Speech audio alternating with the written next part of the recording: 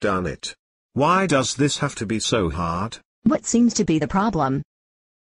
I can't log on to a website. Why not?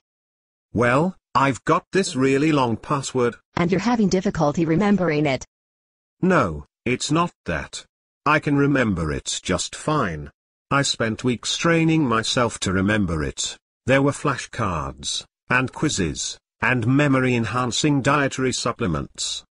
There was even a dominatrix with a riding crop, so now I have no problem remembering my complex 30-character password. Well, that sounds like you should be all set.